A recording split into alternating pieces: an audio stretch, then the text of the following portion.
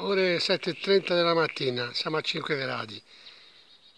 Ma di quali funghi stiamo parlando? Bah, qualcosa si trova, ma nei posti un po' riparati, un po' arridossati ai, vicini ai boschi, anche sulle piste. Ma 5 gradi sono pochi. Arrivederci.